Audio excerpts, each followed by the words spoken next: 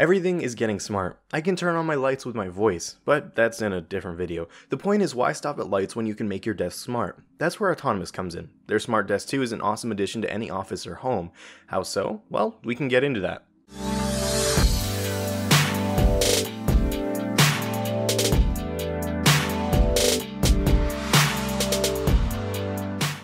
If you haven't heard of a motorized smart desk, then it's basically this. A motor runs power to a piston, and the piston pushes the desk up. That motor is controlled by a control box where signals are received from a panel with buttons on it.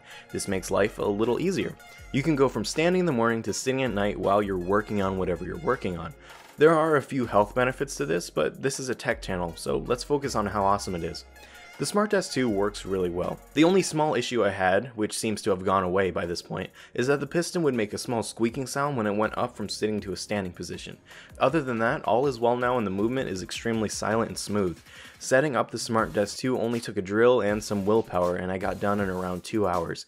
If you like the setup I have in the video, which is a walnut tabletop and black business edition legs, it'll run you about 449. That may seem like a lot, but compared to other standing desks of the same or less quality, this is a great price.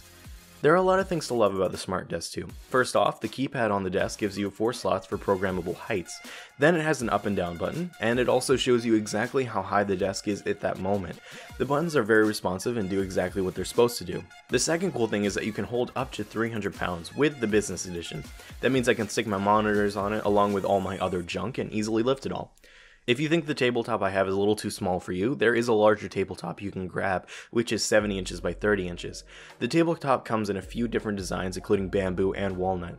I have walnut, and it looks and feels really awesome. It feels extremely sturdy and high quality, which is exactly what you want.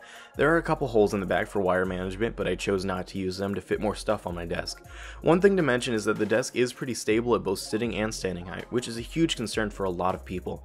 That's most likely because the high grade steel used in the legs. The desk is not light by any means either. One thing you will have to do is get into wire management. If you need any ideas, you can check out our video on cable management. I use the same materials to get everything how I wanted under the desk even though it's still kind of a work in progress. Overall, if you're looking for a well-priced motorized standing desk, you might want to look into the Smart Desk 2. It has just what you need and is made of high quality material, making it perfect for just about anyone. For now, I'm Andrew with Your Tech Explained, and please like and subscribe for more content like this weekly, and we'll see you next time.